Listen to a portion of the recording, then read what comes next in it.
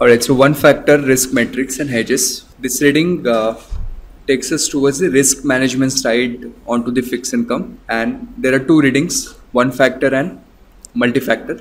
So, this is the easier of the two readings where we have repetition of more or less the concepts of duration and convexity.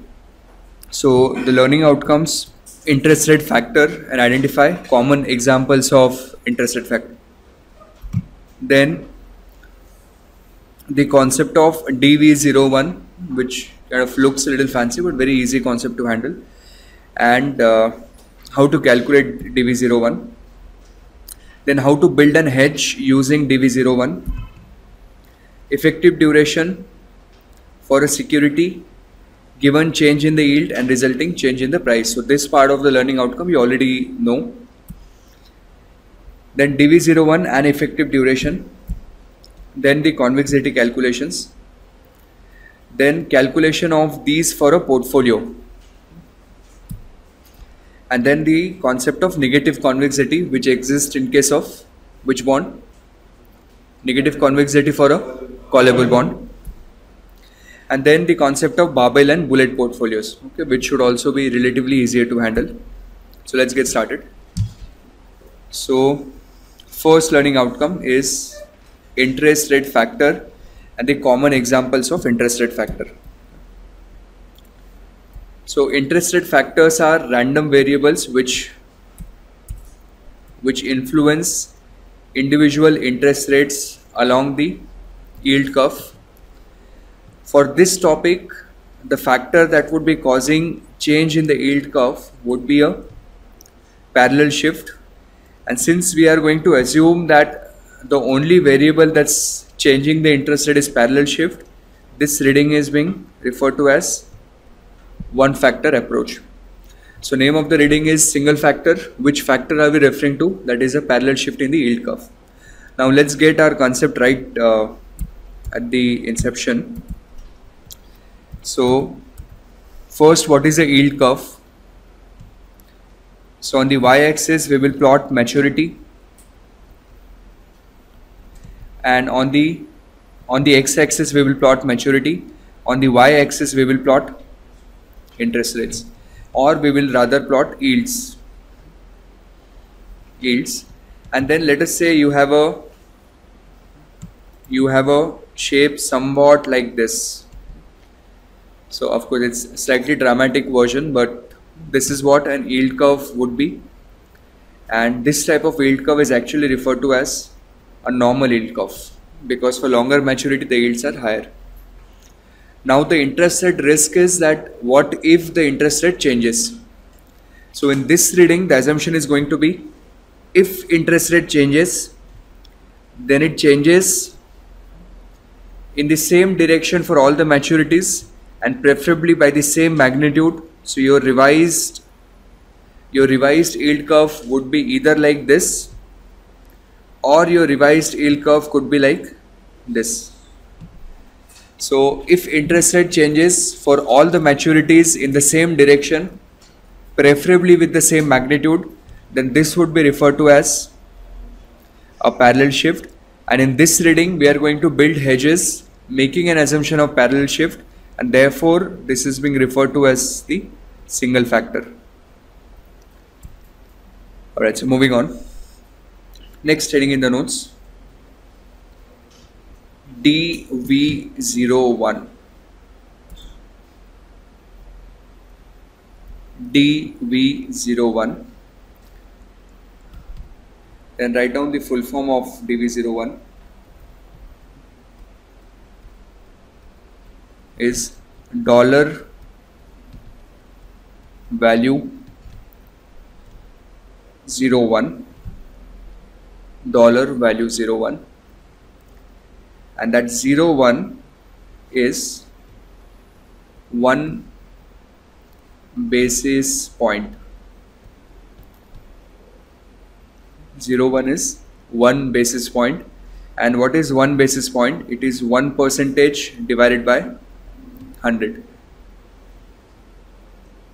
one percentage divided by 100 okay so the simple interpretation of DV01 is So you could write down the interpretation. Change change in bond price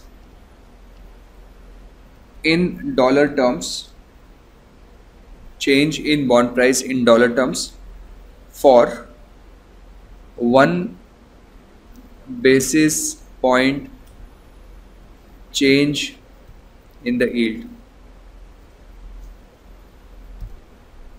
for one basis point change in the yield. Okay so going on in the multi-factor reading we would be looking at partial zero ones we would be looking at forward zero ones. Good it didn't hit you. Different date which i get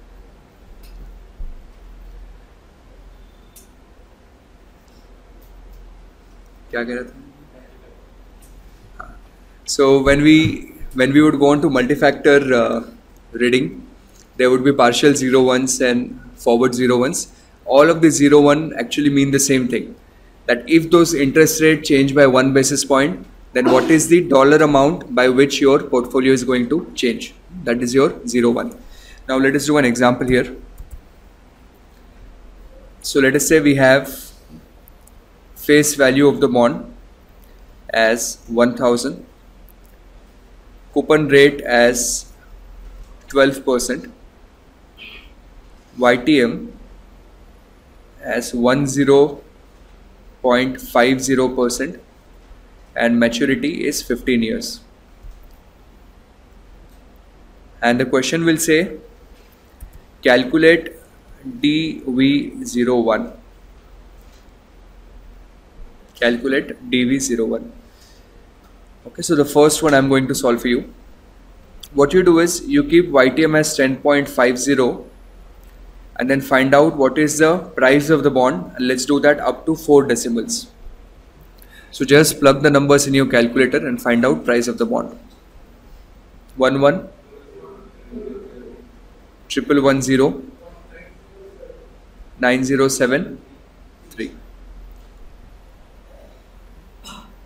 So price of the bond is triple one zero point nine zero seven three. Will you be able to handle this calculation? Now what if that yield becomes 10.49 percentage? If it is 10.49 percentage, then what is the bond price? 1 1 11.7095 or 4. Now, will you agree that your yield decreased by 1 basis point? Now, can you find out what is the change in the dollar value of your bond? The difference between these two?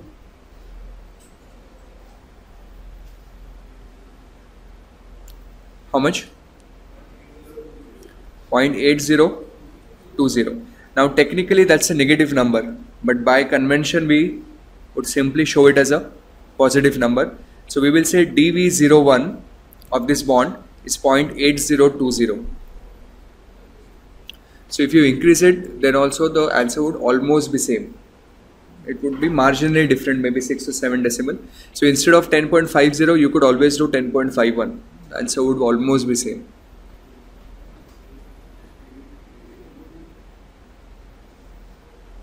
Are we okay here? Now, let us see if we can calculate a duration for this bond a modified duration. Okay. So the formula of modified duration is v minus minus v plus divided by 2 into v0 into delta y. Let us assume a reasonable uh, 1 percentage delta y. Okay so Will you be able to do this? Try doing it by yourself. V minus is the bond price when the yield would be nine and a half and V plus is the bond price when the yield would be 11 and a half. So just plug the values into the formula. 7.23. 7.23 is the modified duration. Now what is the interpretation? 1% change in yield will change bond price by 7.23 percentage. 1% change in the yield will change bond price by 7.23 percentage. Are we okay? Next concept is dollar duration.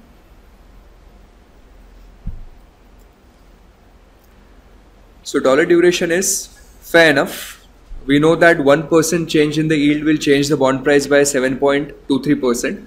But what is 7.23% of your bond? So your current market price of the bond is 1110.9073 into 7.23 percentage. 80.36 so 80.36 is your dollar duration. Okay? Now see the fun if yield changes by I don't want you to write this just wait for me. 1 percentage. Bond price will change by dollar 80.36 now 1 percentage can I alternatively say is same as 100 basis points. Correct? So for 100 basis point bond price changes by 80.36 so for 100 basis point the changes of 80.36 so for 1 basis point that change is how much? So that should be 0.8036 and is it almost same as your dv01 are you following this? So in a way all these concepts are the same thing. It's just that in dv01 since your delta was only 1 basis point it is more accurate. In duration since your delta was 100 basis point it is relatively less accurate. Smaller the delta better is the level of accuracy. So given dV01, you should be able to calculate duration. Given duration, you should be able to calculate dV01.